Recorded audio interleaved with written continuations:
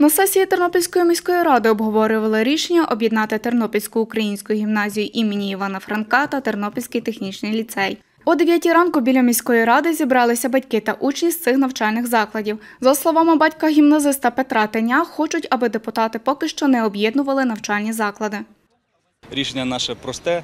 На рік хоча б або відтермінувати, або скасувати рішення сесії, тому що все ж таки е, потрібно багато аспектів вивчати. На сьогоднішній день не існує ніякого плану реорганізації закладів середньої освіти під закони нової української школи. Тобто його не існує в апріорі.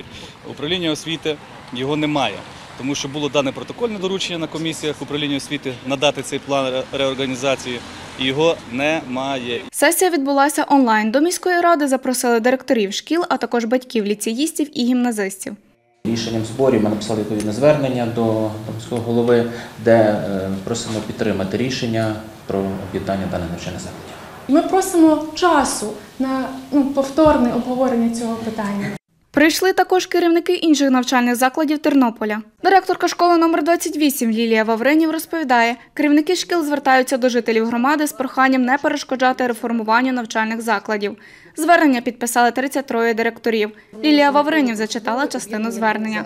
Ситуація вийшла за межі правових та етичних норм і зачіпає інтереси багатьох освітян, а також учнів та їх батьків, оскільки стає чинником формування суспільного сприйняття та відношення до освіти в цілому. Натомість опонентами процесу реорганізації не представлено аргументів, котрі вказували на реальні негативні наслідки такої реорганізації чи порушення норм е, законодавства про освіту. На сесії мали розглянути 34 питання. Серед них скасування рішення об'єднати гімназію та ліцей. За це рішення проголосувало 11 депутатів, утримались 27 та проти не проголосував ніхто. Рішення про скасування об'єднання не прийняли, повідомив міський голова Тернополя Сергій Надал. Начальниця міського управління освіти Ольга Похиляк ситуацію прокоментувала так. Наголошую, що освітня реформа НУШ це початкова освіта 1-4 класи, базова 5-9 і профільна середня освіта 10-12. Це зараз проходить третій етап реформи, він є складним. Він е, здійснюється поступово відповідно до вимог законодавства, а саме законів України про освіту, про повну загальну середню освіту, про перейменування і приведення відповідність.